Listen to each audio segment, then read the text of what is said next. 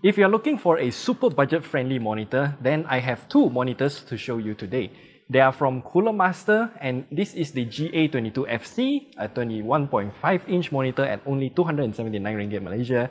And this is the GA2501, a 24.5 inch monitor at only 539 ringgit. So, are these monitors worth the price? I tested it out for the past few weeks and I found out they are actually quite okay.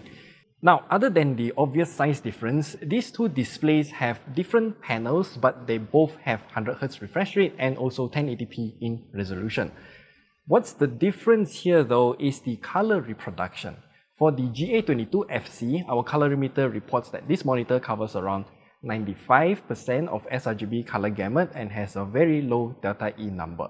The maximum achievable brightness is also not bad. We're getting around 222 nits as well, so if you're using it indoors, then yeah, it's gonna be fine. As for the GA2501, it is using a much better panel. It covers around 96.5% of sRGB and has a maximum brightness of around 300 nits, which is higher than the smaller GA22FC. As for the pixel response time, the smaller one is using a VA panel and the G2G response time isn't exactly the best, so I just turned the overdrive to extreme, which pretty much means the pixels will go into overdrive at the highest response time possible. The bigger one though is using an IPS LCD panel and the pixel response time is much better. So the overdrive setting in the OSD menu, even if I just leave it at off, it doesn't actually matter that much. Either way, the response time of both of these monitors are actually better than one of the monitor that we have reviewed recently, which is also more expensive. If we're going to play games on these two monitors, then I don't actually realize that there's actually motion blur.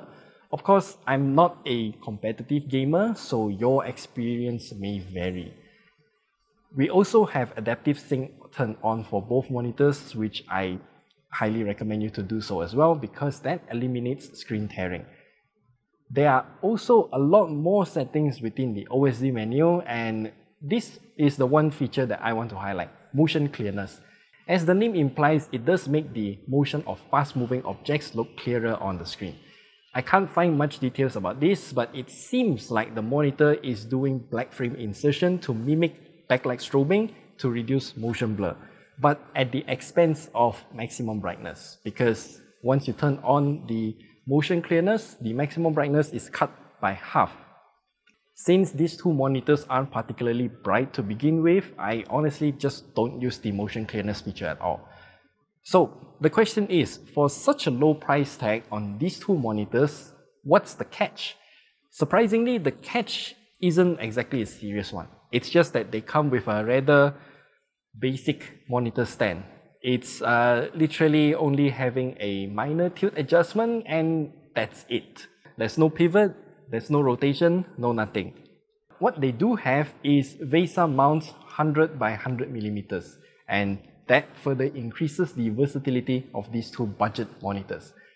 And perhaps the ports, the GA22FC is so basic that it only has one HDMI 1.4 port, a power jack and also a VGA port. Yeah, VGA in the year 2024. The bigger GA2501 has the same port but with the addition of an audio jack, which is actually very useful if you want to connect this monitor to a console like PS5 or Nintendo Switch. I mean, these monitors are great for someone who wants a cheap, reliable monitor.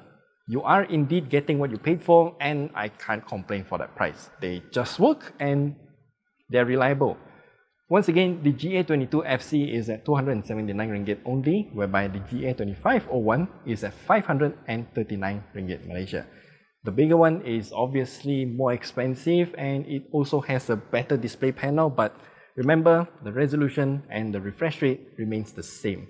And the stand on both of these monitors are also identical. So if you're paying more price, you aren't getting a better stand anyway.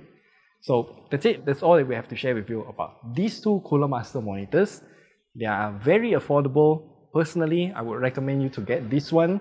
But for our use case, if we want to use another monitor for like live preview for our camera, this monitor would do just fine as well. So yeah, do decide on which monitor suits your use case the most and we'll see you guys in the next video.